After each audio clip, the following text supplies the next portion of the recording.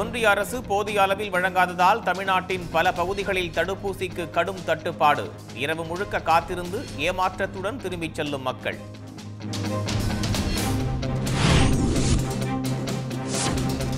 சென்னையில் பெட்ரோல் விலை நூறு ரூபாயை நெருங்கியது. ஒரு லிட்டர் பெட்ரோல் தொன்னூற்றி ஒன்பது ரூபாய் எண்பது காசுகளுக்கும் டீசல் தொன்னூற்றி மூன்று ரூபாய் எழுபத்தி இரண்டு காசுகளுக்கும் விற்பனை.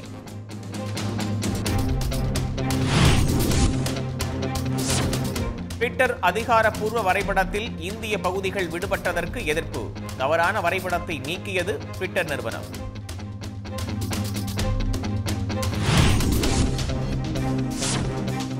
அவினாசியில் மாட்டிறைச்சி விற்கக்கூடாது என எச்சரித்த வட்டாட்சியர் பணியிட மாற்றம். சமூக வலைதளங்களில் வீடியோ பரவிய நிலையில் நடவடிக்கை.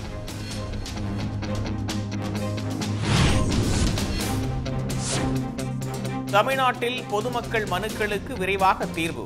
முதலமைச்சரின் தனிப்பிரிவில் புகார் அளிக்க மக்கள் ஆர்வம்.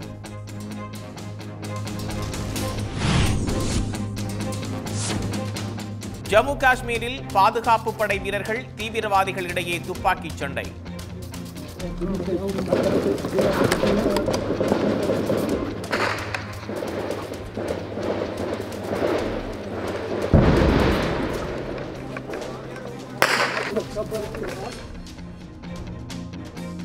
விமான நிலையம் மீது வான்வழி தாக்குதலை அடுத்து தேடுதல் பணிகள் தீவிரம்.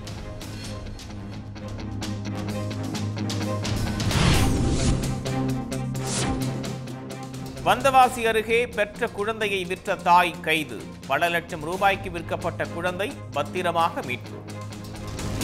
உடனுக்குடன் செய்திகளை தெரிந்து கொள்ள சன் நியூஸ் பெல் கிளிக் பண்ணுங்க.